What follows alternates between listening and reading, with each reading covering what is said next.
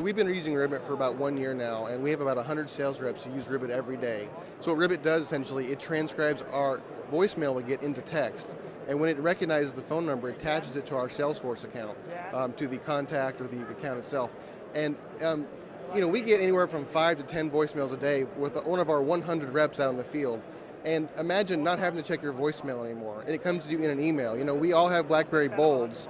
And so the fact that we get our, our voicemail transcribed to us in text every time we get a voicemail is huge. We love it. So, you know, I've been using Ribbit now that whole same year, and I haven't checked my voicemail in literally like nine months because I get them in email, just like I get all my other email in, in, in text. So with Ribbit, we feel like we've really kind of gained some ground over competitors and just become more efficient with our sales reps. We estimate we save over 30 minutes per day per rep. So with 100 reps, it's a lot of savings and calculated almost a 10 to 1 ROI. Just for the sheer fact that um, we save so much time having to listen to voicemail, check the voicemail, write it down, and then write down or email or call the person that maybe that email was, or that voicemail was about.